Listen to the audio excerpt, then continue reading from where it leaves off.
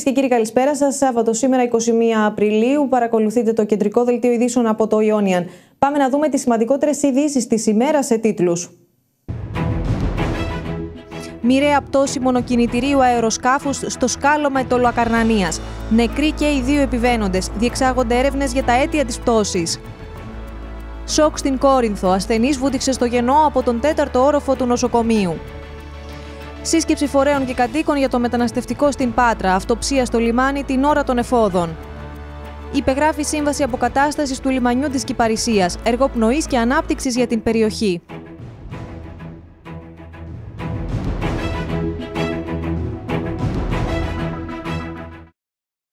Δύο νεκροί είναι ο τραγικός απολογισμός της μοιραίας πτώσης μονοκινητηρίου αεροσκάφους που κατέπεσε στην περιοχή Σκάλωμα Ετωλοακαρνανία λίγο πριν τις 4 το μεσημέρι. Ο Βασίλης Δελημάρης από τον ναυπακτίαnews.gr έχει το ρεπορτάζ. Βασίλη, καλησπέρα, σε ακούμε.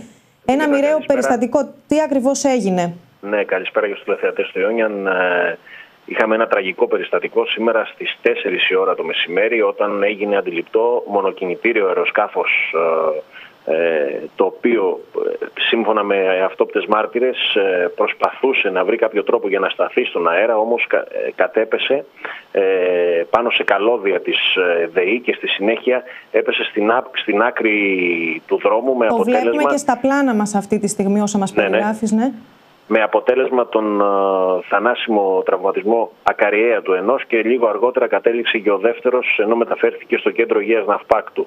Ε, για το περιστατικό στήθηκε όπως ήταν φυσικό μεγάλη επιχείρηση από την πυροσβεστική υπηρεσία Ναυπάκτου και την τροχέα καθώς έπρεπε να ελεγχθεί η κυκλοφορία στο σημείο που έπεσε το αεροπλάνο. Ε, και ακόμα αυτή, μέχρι και αυτή την ώρα αναμένονται πραγματογνώμονες για να ε, διερευνήσουν τα αίτια της τραγωδίας ε, σήμερα στο σκάλωμα Φωκίδας. Αυτό μπορούμε να, να, να πούμε το σημείο. Είναι περίπου 20 χιλιόμετρα από το κέντρο της Ναυπάκτου στην περιοχή της Φωκίδας. Μάλιστα. Ε, δεν υπάρχουν άλλες ε, πληροφορίες ε, μέχρι αυτή την ώρα αυτό που γνωρίζουμε Δήμητρα είναι το εξής ότι ο προορισμός του αεροσκάφους ήταν η, η Κοπαίδα ε, και επέβαιναν, ε, όπως είπαμε, δύο άτομα τα οποία αυτό που μας είπαν από το σημείο που βρίσκεται συνάδελφος αυτή την ώρα ε, ότι υπήρχε έγγραφο αερολόγησης από την αερολέσχη Αράξου. Ναι. Αυτά είναι τα στοιχεία που γνωρίζουμε μέχρι και αυτή την ώρα. Ε, συνεχίζεται λοιπόν το ρεπορτάζ.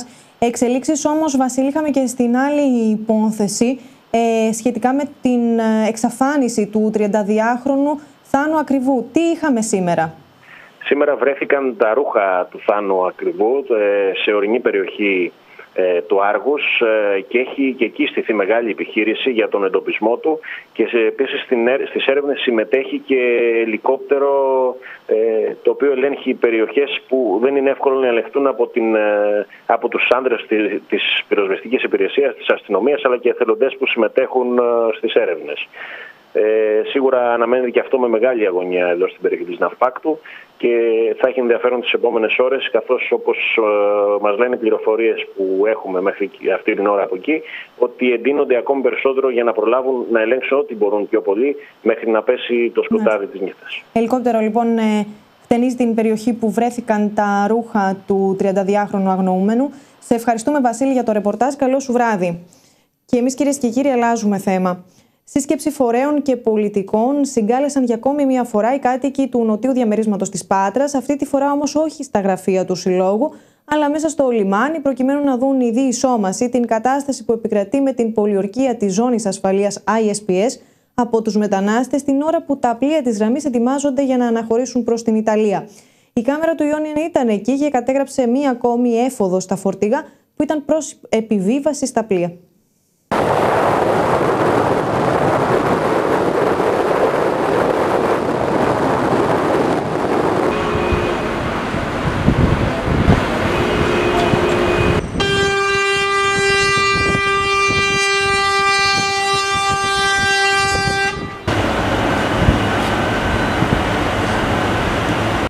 Την ώρα που εκπρόσωποι συλλόγων του Νοτιού Διαμερίσματος της Πάτρας ενημέρωναν εκπροσώπους φορέων της περιοχής για το μεταναστευτικό εντός της λιμενικής ζώνης, δεκάδες αλλοδαποί προχωρούσαν σε μία ακόμα προσπάθεια να ταξιδέψουν λαθρέα προς την Ιταλία, σημαίνοντας έναν ακόμα συναγερμό στις λιμενικές αρχές. Αυτός ακριβώς άλλωστε ήταν και ο στόχος των συλλόγων, έτσι ώστε οι φορείς να δουν οι ίδιοι τι συμβαίνει μέσα στο λιμάνι.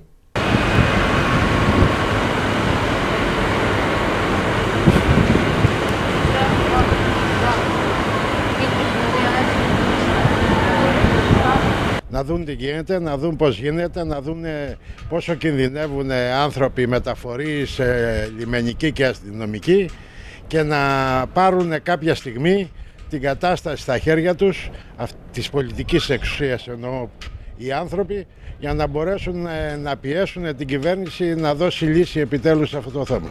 Οι εκπρόσωποι κατοίκων της περιοχής ζήτησαν από τους φορείς να πιέσουν προς κάθε κατεύθυνση ώστε να εφαρμοστούν στην πράξη τα όσα τους έχουν υποσχεθεί από την πλευρά της κυβέρνησης. Ο μοναδικός βουλευτής που παραβρέθηκε στη σύσκεψη ήταν ο Θόδωρος Παπαθεοδόρου από τη Δημοκρατική Συμπαράταξη και ο οποίος μίλησε για τροπολογία που καταθέτει έτσι ώστε η Αχαία να εξαιρεθεί από την ελεύθερη διακίνηση μεταναστών στον ελλαδικό χώρο. Όχι μόνο αποκλεισμός από τις πύλες εξόδου. Όπως ανέφερα και χθες σε εκπομπή που παρευρέθη, θα ζητάω να εξαιρεθούν οι νομοί που υπάρχουν πύλες εξόδου. Δηλαδή η αχαΐα. Οι κάτοικοι των νοτιών περιοχών της Πάτρας τονίζουν ότι δεν πρόκειται να σταματήσουν τον αγώνα τους, ζητώντας να δοθεί ένα χτύπημα στα κυκλώματα που εκμεταλλεύονται τους μετανάστες και τους προωθούν λαθρέα στην Ιταλία εναντί αδράς αμοιβής. Μένουμε στο ίδιο θέμα. Μαζί μας είναι ο κύριος Νίκος Τζανάκος, Δημοτικός Σύμβουλος Πατρέων. Κύριε Τζανάκο, καλησπέρα σας. Καλησπέρα, καλησπέρα σε όλους. Ε, μια νέα σύσκεψη λοιπόν ε, είχαμε σήμερα για ένα πρόβλημα ε, που δείχνει να ταλαιπωρεί τους κατοίκους του νοτιού διαμερίσματος. Εσείς είστε ένας άνθρωπος που έχει ασχοληθεί πάρα πολύ με τα θέματα του λιμανιού. Ποια πιστεύετε ότι είναι η λύση στο θέμα που έχει δημιουργηθεί, Το θέμα δεν είναι ποια πιστεύω εγώ ότι είναι η λύση. Το θέμα είναι αν υπάρχει βούληση να λυθεί. Υπάρχει, θα με συγχωρείτε να σου πω. Δεν άκουσα. Υπάρχει, θεωρείτε; Ε, θεωρώ ότι μάλλον βλέπω ότι δύσκολα φαίνεται να το αντιμετωπίζει η κυβέρνηση ή η ειδική τέλος πάντων αυτό το θέμα γιατί ε, σήμερα έγινε η σύσκεψη και εγώ ενώ είχαν προσκληθεί οι κυβερνητικοί βουλευτές απέφυγαν να έρθουν και οι τρεις. Είναι χαρακτηριστικό από τους βουλευτές ήρθε μόνο ο κύριος ε, Παπαθεοδόρου και καταλαβαίνετε ότι μια σύσκεψη στην οποία ε, ήταν, ε, δεν ήταν κανένας από εκείνους που εμπλέκονται στην όλη ιστορία δεν μπορεί να έχει ε, ένα αποτέλεσμα στο αφορά ποια είναι η λύση. Εκείνο το οποίο διατρανώθηκε κατά κάποιο τρόπο είναι η θέληση των κατοίκων, στην ουσία όλων μας τέλος πάντων, να βρεθεί μια λύση διότι τα πράγματα έχουν δυσκολέψει. Με δυσκολία κινηθήκαμε κι εμείς για να μπούμε σήμερα στο χώρο του λιμανιού και είναι χαρακτηριστικό ότι και το είδα από κοντά, ήταν πολύ καλό αυτό που έκαναν οι, ε, οι κάτοικοι, οι σύλλογοι. Ε, ήταν πάρα πολλοί από τους ανθρώπους ε, που ταλαιπωρούνται τέλος πάντων ε, για διάφορους λόγους και έχουν έρθει προκειμένου να βρουν ένα καλύτερο μέλλον να περάσουν προς τα ενδότερα της Ευρώπης. Ήταν πάρα πολύ μέσα στον δεύτερο τείχο φράχτη, το πούμε, του λιμανιού. Ε, και μας έκανε φοβερή εντύπωση. Δηλαδή ε, ήταν ένα λιμάνι το οποίο ήταν σουρωτήρι, μπορούσε όποιος ήθελε να μπαίνει και να βγαίνει. Ε, άνθρωποι κινιόντουσαν με μεγάλη άνεση μέσα στον απαγορευμένο χώρο. Ε, θεωρώ ότι δεν είναι καθόλου εικόνα αυτή που βοηθάει στην όλη κατάσταση και έτσι καταλάβαμε σήμερα και εξηγείται το γιατί ε, πληθαίνουν συνέχεια ε, οι άνθρωποι οι οποίοι από τα άλλα κράτη που έχουν έρθει ε, γιατί πληθαίνουν στο λιμάνι, γιατί δεν είναι πια 200-300 ε, ίσως να εγγύρουν και τους 2.000 λέω εγώ ένα νούμερο και παραπάνω ναι. ε, διότι από ό,τι φαίνεται το ε, λιμάνι μας είναι ένα κόσκινο δεν, δεν λογίζεται διαφορετικά δηλαδή πάρα πολύ πάρα πολλοί ε, άνθρωποι κινιόντουσαν ε, ε, μέσα από τα κάγκελα του λιμανιού και μιλώ από τα δεύτερα κάγκελα στον απογορευμένο χώρο. Μας έκανε φοβερή εντύπωση πάντως. Από την σημερινή αυτοψία ουσιαστικά, αλλά και όσα συζητήθηκαν, οι κάτοικοι είναι διατεθειμένοι να προχωρήσουν και σε άλλες μορφές αντίδρασης ή κινητοποίησεων; Κοιτάξτε, οι κάτοικοι, επειδή προσωπικά έχω και την εμπειρία mm-hmm. της κατάστασης που επικρατούσε πριν από πάρα πολλά χρόνια στην άλλη πλευρά της πόλης ε, θα σας έλεγα ότι ε, οι κάτοικοι προσεγγίζουν το θέμα αυτό με μεγάλη προσοχή γιατί ε, είναι και ανθρωπιστικοί λόγοι βλέπετε. Δεν είναι εύκολο να αντιμετωπίσεις και να πάρεις θέση απέναντι σε ανθρώπους που ταλαιπωρούνται, σε μετανάστες οι οποίοι έχουν βάλει σαν στόχο στη ζωή τους είτε από πόλεμο είτε για άλλους λόγους λόγω της φτώχειας να μεταναστεύσουν και να κυνηγήσουν μια καλύτερη ζωή. Απλώς ζητούν να βρεθεί κάποια λύση ώστε να μην ε, δυσκολεύεται και η δική τους ε, ζωή. Δεν είναι δηλαδή, δεν άκουσα εγώ τουλάχιστον από τους ε, κατοίκους, από τους συλλόγους ακραίες καταστάσεις, παράλογες φωνές. Εκείνο πάλι που σας επισημαίνω και μου έκανε το δεύτερο πράγμα πέρα από το ότι είναι σουρωτήρι πια το λιμάνι και φαίνεται και αυτό δεν μπορεί να το απαξιώσει κανένας, δεν μπορεί να μην το επισημάνει, δηλαδή είναι αδιανόητο γιατί ε, είναι στην ίδια κατάσταση ένα καινούριο λιμάνι με σύγχρονες εγκαταστάσεις και πάρα πολύ εύκολο να, εύκολο να φυλαχτεί.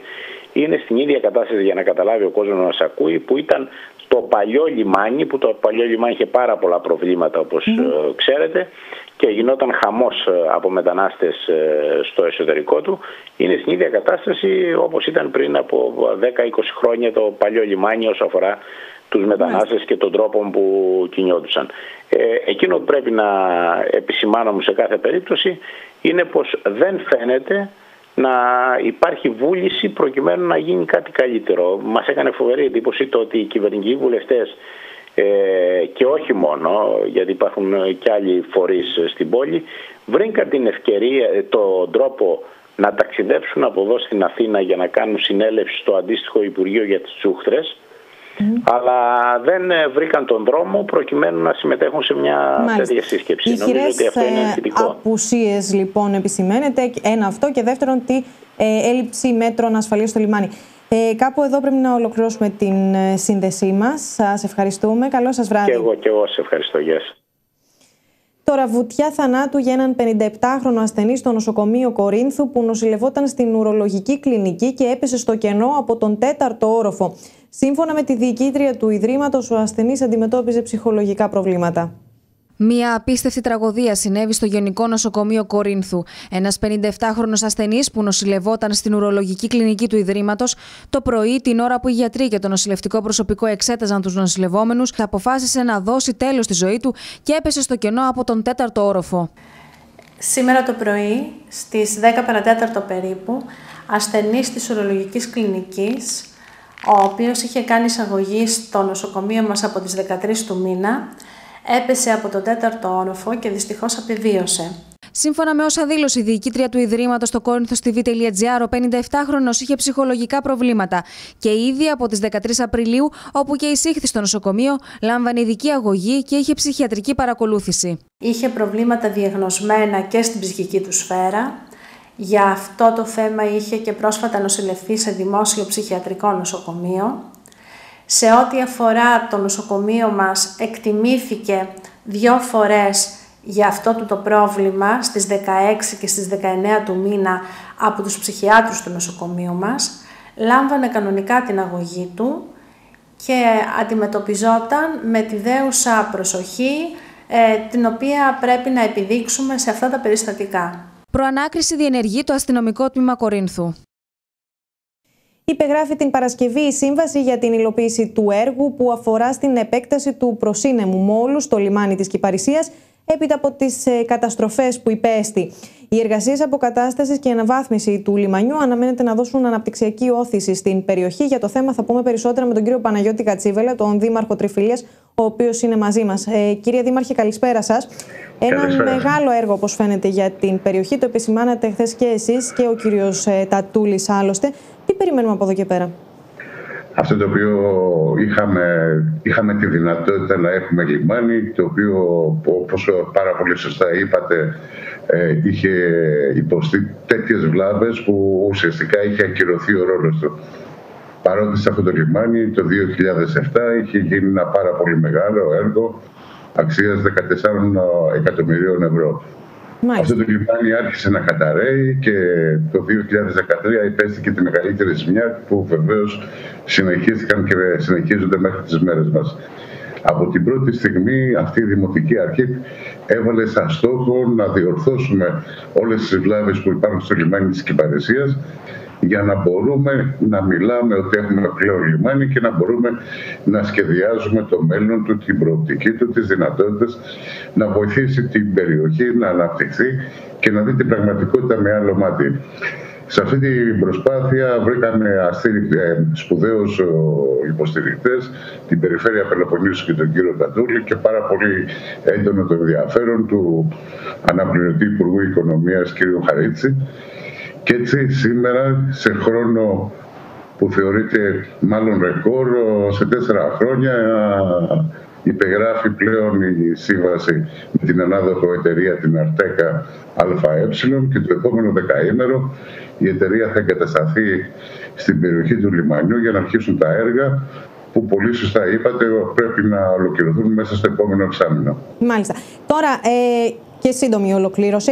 Ε, υπάρχει όραμα εκ μέρους της Περιφερειακής Αρχής, εκφράστηκε κάτι τέτοιο, και να έχουμε μια τουριστική μαρίνα ε, και να γίνει προορισμός ε, κρουαζιέρας και Παρισία; Έχουμε βάλει τα, τα, τον επόμενο στόχο που είναι η επέκταση του βραχίωνος του μόλου ε, του προσύνεμου κατά 50 μέτρα, εκβάθηση του λιμανιού και να αναζητήσουμε την όποια δυνατότητα μέχρι και ΣΔΙΤ να φτιάξουμε μια μαρίνα σύγχρονη στην περιοχή της ε, Κυπαρισίας, του λιμανιού της Κυπαρισίας που από ό,τι καλά γνωρίζετε και εσείς και το επιβεβαιώνετε κάθε μέρα ο άξονας του Ιωνίου, το Ιόνιο Πέλαγος έχει μεγάλη ανάπτυξη και δεν υπάρχουν οι υποδομές ώστε να υποστηρίξουν αυτή τη θέληση για αναπτυξη που υπάρχει σε όλη αυτή την περιοχή.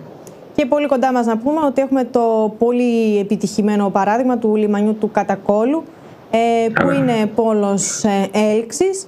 Ε, και βέβαια με τις δικές σας πρωτίστως και τις ενέργειες και των υπολείπων αρχών θα είναι πάρα πολύ αισιόδοξο και μεγάλο αναπτυξιακό έργο για την περιοχή. Ακριβώς και θα μπορεί να λειτουργούν παραπληρωματικά, συμπληρωματικά, ποτέ ανταγωνιστικά, γιατί η Ελλάδα πλέον είναι παγκόσμιος ε, προορισμός και η περιοχή μας έχει αναπτύξει και έχει προκαλέσει εδώ το ενδιαφέρον διεθνώς. Ε, σας ευχαριστούμε κύριε Κατσιβέλα για αυτή μας την επικοινωνία. Καλό σας βράδυ. Τώρα νέα υπόθεση διακίνησης λαθρέων τσιγάρων στην Πάτρα εντόπισε η αστυνομία. Σε διαμέρισμα πολυκατοικία σήμερα το πρωί, αστυνομικοί βρήκαν 7.000 πακέτα λαθρέων τσιγάρων και για την, για την υπόθεση συνελήφθη ένας Πακιστανός. Στο επόμενο μας θέμα, για τις 21 Ιουνίου αναβλήθηκε η δίκη των κατοίκων της Ανατολικής Αιγιάλια που απέκλεισαν το χιτά της Αιγύρας. Την 5η 30 άτομα επρόκειτο να δικαστούν για παρακόλληση συγκοινωνίας έξω από τον Σκουπιδότοπο, με την αστυνομία να έχει υποβάλει μηνύσεις στους κατοίκους. Οι πολίτες αντιστέκονται στεναρά στη συνέχεια της λειτουργίας του χιτά Αιγύρας και για το θέμα μαζί μας είναι η κυρία Αλέκα Ζαμπάτη, μέλος της Επιτροπής Αγώνα Ανατολικής Αιγιάλια. Κυρία Ζαμπάτη, καλησπέρα σας. Καλησπέρα σε εσάς και στους τηλεθεατές σας. Τώρα, υπάρχουν ε, διάφορες μορφές ε, κινητοποιήσεων, γίνονται συσκέψεις, έχει γίνει αποκλεισμός. Όμως την ε, Πέμπτη ουσιαστικά ε, κάποιοι κάτοικοι οδηγήθηκαν, πέρασαν την πόρτα του δικαστηρίου. Ναι, ναι, όχι κάποιοι κάτοικοι, σχεδόν το μισό Ε, είμαστε 29 κατηγορούμενοι. Είναι η πρώτη φάση των μηνύσεων που, που θα εκδικαζόντουσαν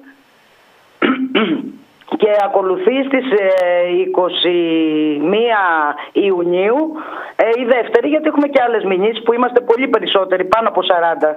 Ε, πήραμε αναβολή και θα εκδικαστούν όλες μαζί στις 21 Ιουνίου. Ε, εσείς είσαστε διατεθειμένοι να κάνετε πίσω ή κατηγορηματικά όχι, δεν πρόκειται να λειτουργήσει ε, ξανά οχητά στην περιοχή; Εμείς δεν είμαστε διατεθειμένοι να κάνουμε ούτε μισό πόντο πίσω από αυτά που έχουμε ανακοινώσει και που παλεύουμε τόσο καιρό, τρεις μήνες επάνω στο χιτά. Δηλαδή θέλουμε αποκατάσταση αυτού του χιτά που πλέον είναι χαδά, χωματερή ε, και να κλείσει. Παλεύουμε στο να κλείσει. Προσπαθούμε να μαζέψουμε όλα εκείνα τα χαρτιά που θα αποδεικνύουν επιστημονικά, έτσι, όχι επειδή το λέμε εμείς, ε, ότι ο χιτά αυτός δεν μπορεί να ξαναλειτουργήσει. Πιστεύουμε ότι θα το καταφέρουμε και πιστεύουμε ότι ο αγώνας μας θα είναι επίμονος και μέχρι ε, να κερδίσουμε το δίκιο μας. Που είναι η υγεία μας ε, πάνω απ' όλα. Έτσι. Δεν, για μας δεν μετράει ούτε αν δεν υπάρχει ε, πού θα πάνε τα σκουπίδια, ούτε πόσα θα πληρώσουμε για να πάνε αλλού. Ζητάμε να γίνει μια σωστή διαχείριση των απορριμματων Είναι μια αφορμή να ξεκινήσει η ανακύκλωση, να ξεκινήσουν να γίνονται πράγματα που να μειώνουν τον όγκο, να γίνουν τα εργοστάσια που τα έχουν ανακοινώσει εδώ και πολλά χρόνια και δεν έχουν κάνει τίποτα, που βέβαια δεν ευθυνόμαστε εμείς, ναι. Ε, ευθύνονται οι περιφέρειες, ευθύνονται οι κυβερνήσεις που περάσαν και δεν κάναν ποτέ τίποτα και βεβαίως δεν έχουμε, ε, ε, κατανοούμε και τους κατοίκους των άλλων χιτά που θα δεχθούν αυτή τη στιγμή τα απορρίμματά μας. Κατανοούμε και τις αντιδράσεις τους και την άρνησή τους, δίκιο έχουν. Είμαστε, είναι και αυτοί όπως και εμείς θύματα αυτών των ανάλγητων πολιτικών που μας ταλανίζουν όλα αυτά τα χρόνια και στο θέμα της διαχείρισης των απορριμμάτων. Ε, μέχρι να έρθουμε σε μια πιο μέσω μακροπρόθεσμη λύση, καθότι μια μόνιμη λύση διαχείρισης απαιτεί χρόνο, ειδικά στην χώρα μας. Ε, πιστεύετε και με δεδομένο ότι είναι κλειστός ο χιτά στην περιοχή, άρα η μόνη λύση ουσιαστικά που προκρίνεται είναι να πηγαίνουν τα σκουπίδια σε χιτά άλλων περιοχών; Η μόνη η λύση που προτείνουμε δεν την προτείνουμε εμείς. Ε, την προτείνει με η απόφαση αυτή του, ε, από την ε, περιφέρεια, την αποκεντρωμένη όπου υποδεικνύει πού θα πάνε τα σκουπίδια. Υποδεικνύει έξι χιτά, προσθέθηκε και ο χιτά στον πύργο ε, και επίσης δεν τον κλείνουμε εμείς το χιτά, απλώς εμείς φροντίζουμε, αν το πούμε και έτσι, για την ομιμότητα και για να μην ε, παραβεί, ε, ε, παραβεί κάποιος τον νόμο και φέρει σκουπίδια. Τον χιτά τον, έχω να σας πω ότι τον έχουν κλείσει επιθεωρητές περιβάλλοντος. Δεν έχει άδεια, δεν έχει ΑΕΠΟ. Μάλιστα. Και ο Δήμαρχος συνέχιζε να φέρνει σκουπίδια. Οπότε εμείς είμαστε εκεί και περιφρουρούμε την νομιμότητα. Δεν είμαστε καθόλου παράνομοι εμείς. Και βεβαίως είναι πολύ αστείο, ας πούμε, αυτό το ότι μας πάνε για παρακόλληση συγκοινωνιών. Δεν ξέρω αν ε, υπάρχουν συγκοινωνίες να πας και να βγεις από το χιτά, γιατί τα αυτοκίνητά μας ήταν στην άκρη του δρόμου και εμείς απλώς με τα σώματά μας κλείναμε την είσοδο του χιτά να μην μπουν απορριμματοφόρα. Εκεί γύρω έχει χωράφια, έχει χτήματα έχει... και περνούσαν οι αγρότες κανονικότατα. Ε, σταματούσαν να πούμε δύο κουβέντες, περνάγαν, πήγαιναν στα κτήματά τους. Δεν υπάρχει δηλαδή παρακόλληση, είναι, είναι αστείο πράγμα. Μάλιστα. Μάλλον, μάλλον αυτές όλες οι μηνύσεις ε, έχουμε πει και εμείς ότι μάλλον είναι για εκφοβισμό. Και τρομοκρατία που βέβαια δεν θα περάσει, δεν, δεν καθίσαμε δύο μήνες και τρεις μέσα στο κρύο ας πούμε και, και στην, ε, στη μυρωδιά του αερίου εκεί με, με, κίνδυνο να αρρωστήσουμε κιόλας ε, για να Καταλαβαίνουμε λοιπόν πίσω. ούτε βήμα ναι. πίσω. Σας ευχαριστούμε για τη σύνδεσή μας κυρία Ζαμπάτη. Καλό σας βράδυ. Αλλάζουμε θέμα. Ο Δήμος Πατρέων τίμησε σήμερα τους αγωνιστές που φυλακίστηκαν, βασανίστηκαν και εξορίστηκαν κατά τη διάρκεια της επτάχρονης δικτατορίας με σεμνή τελετή όπως αρμόζει στους αγωνιστές. Ο Δήμαρχος Πατρέων Κώστας Πελετίδης κατέθεσε στεφάνι στο χώρο του 26ου Δημοτικού Σχολείου στην περιοχή της Αγίας Σοφίας, ενώ μίλησε για το νόημα της ημέρας και του αντιδικτατορικού αγώνα.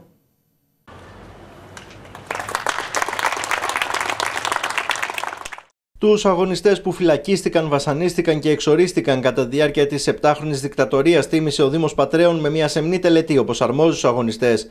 Φέτος συμπληρώνονται 51 χρόνια από το στρατιωτικό πραξικόπημα της 21η Απριλίου του 1967 και στην Πάτρα τότε δύο δημοτικά σχολεία, το 26ο Δημοτικό Σχολείο στην περιοχή του Αγίου Αλεξίου και το 17ο Δημοτικό Σχολείο στην περιοχή Δροσιά, είχαν μετατραπεί σε χώρους φυλάκισης των αγωνιστών που είχαν κριθεί επικίνδυνοι για το καθεστώς.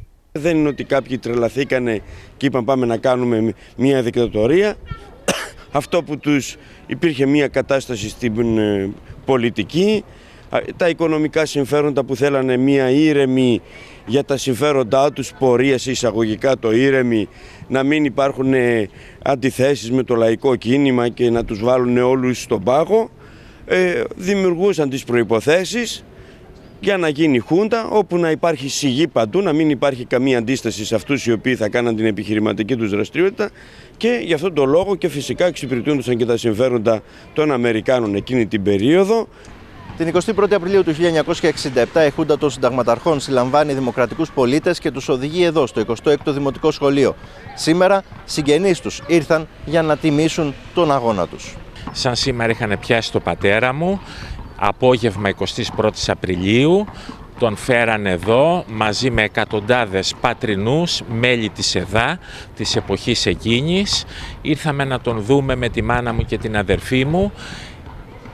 Στο προάβλιο ήταν τα σακιά με τα οπλοπολιβόλα που είχαν φτιάξει οι χουντικοί και είδαμε τον πατέρα μου να τον πηγαίνουν τον ένα πίσω από τον άλλον στις τουαλέτες που είναι ακριβώς πίσω από το 26ο με τη συνοδεία με αυτόματα όπλα ή φαντάρι. Ανάλογη εκδήλωση πραγματοποιήθηκε και στο σχολικό συγκρότημα της Ρωσιά στην Πάτρα, όπου επίσης είχε μετατραπεί σε χώρο φυλάκισης, ενώ πολλοί από τους συλληφθέντες οδηγήθηκαν τότε στην Γιάρο.